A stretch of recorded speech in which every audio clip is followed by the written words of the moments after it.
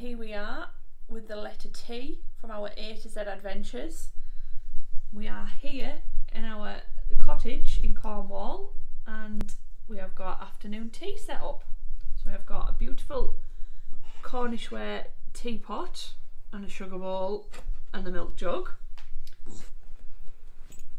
And we have also got some cream scones. So, how do you have your scone?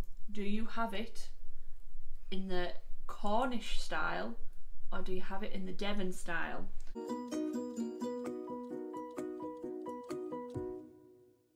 I have mine in the Cornish style. So, cut it in half. And then I'm going to put some jam on first. Now some people will be screaming at the screen and saying, no you can't put your jam on first, but is how we do it. And this is how I do it.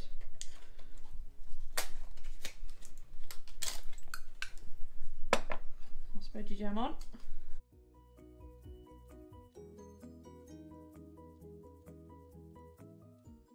Spread that round. And then your cream goes on top.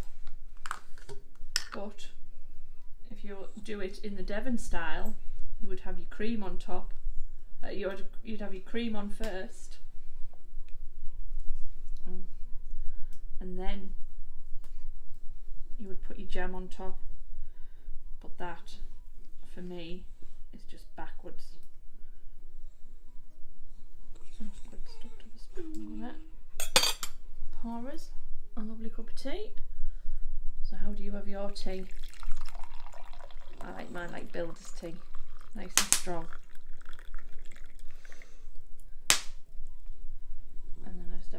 Milk in and no sugar. I do know the bungle likes the sugar in his. So, let's get him. Is that enough? Enough sugar? Give him a bit more, sweeten him up here. And it makes it well stirred.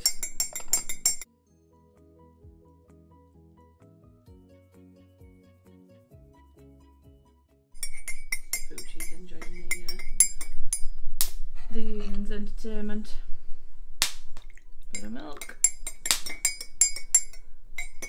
That's one. I'm gonna need more milk than that lady. I'm not. Uh, Oh, what's wrong with you, man? you just threatened it with a bit of milk there. Just get get it in. Oh, Lots of milk. weak. Terrible.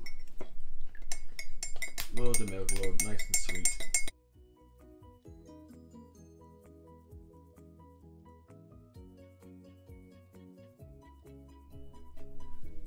Spread my cream about a bit if I can.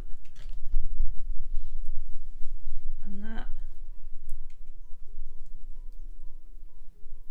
is how I like mine. Afternoon tea.